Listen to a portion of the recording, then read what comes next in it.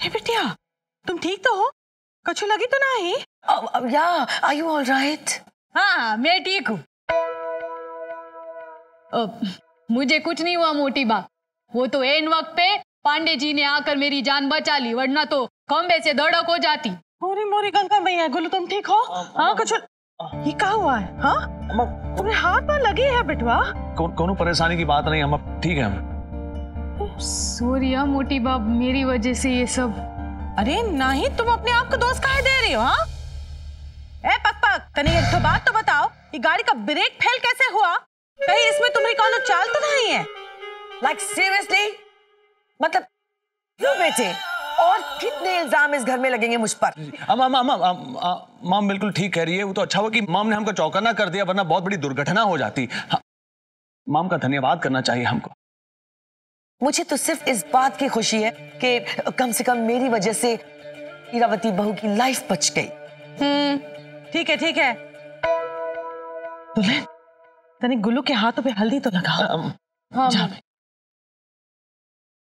Come on बू हम भी चल के रेस्ट यस माँ ए पक पक एक तो बात तो बताओ ये गाड़ी का ब्रेक फेल कैसे हुआ? I I don't know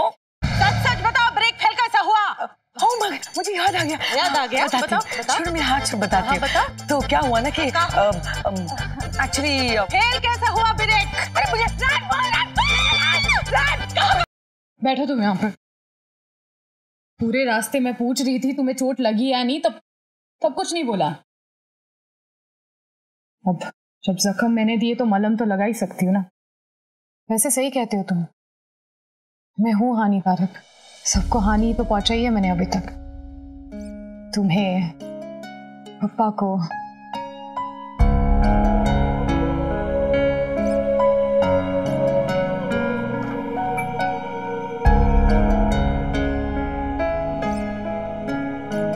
बहुत बुरी हूँ ना मैं।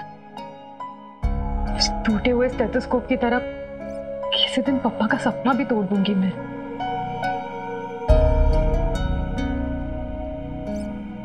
आप अपने आप को दोष काहे दे रही है? आपके पिताजी का दिल तो हमरे कारण टूटा है ना? नहीं अखिलेश मैं हुई बुरी। आप बुरी नहीं है हीरा जी कैसे यकीन दिलाया आपको?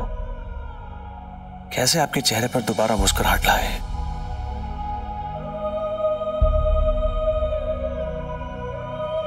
अच्छा वो सब छोड़िए। आप ये बल्लभ चाचा कुछ खाने के लिए लेकर आए थे। सुगंध तो बड़ी अच्छी आ रही है। इसको इसको जरा खोल के देखते हैं। तुम खा लो मुझे भूख नहीं है। ठीक है हम खुद ही चक्के देख लेते हैं का वैसे भाभी भैया हमका बता रहे थे कि बल्ला चाचा बड़ी अच्छी रसोई बनाते हैं।